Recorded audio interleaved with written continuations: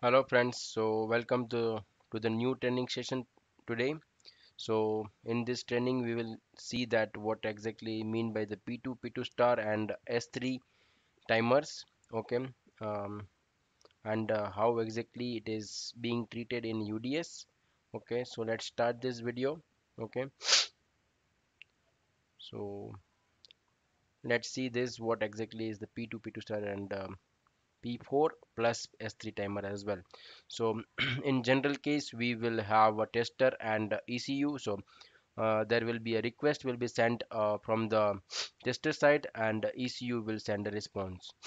Okay, so there could be any request where uh, we will uh, send the request and um, the response should come within a predefined time. Okay, so it could be so we, could have uh, two type of response. One is uh, the one could be the pending response and one could be the final response with the positive positive response okay.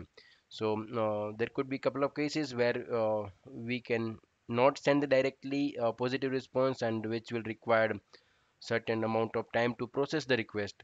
So in this in those cases we will send the 78 uh, nrc okay which is a pending uh, response and uh, the other could be the possibility is the directly final response positive response.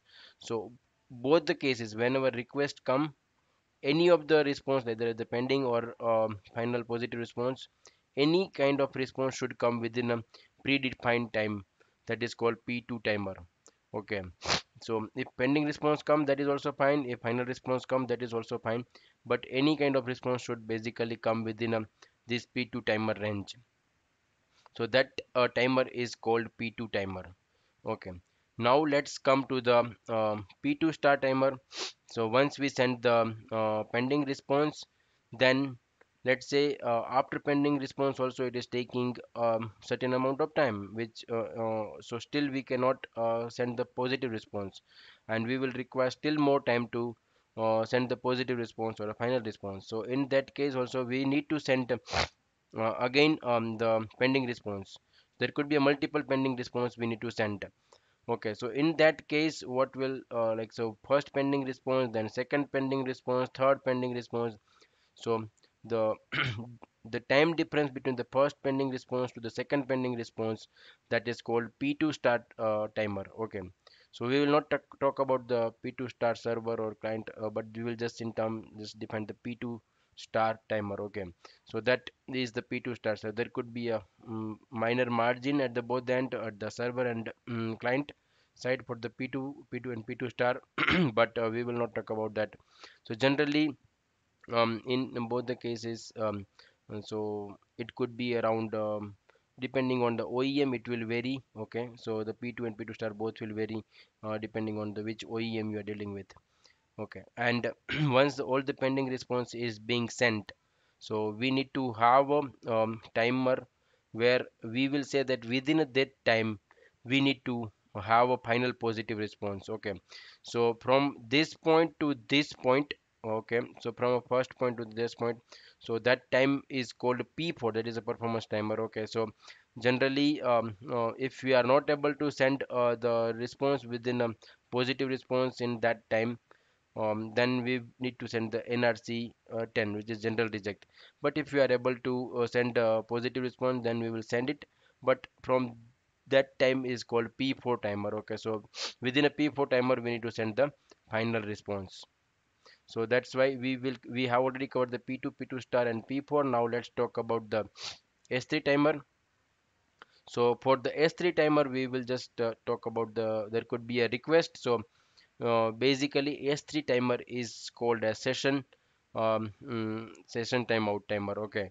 So uh, there what exactly will happen like if we are not um, able to um, retain that session within that time then it will move to the default session. So i will give an example here.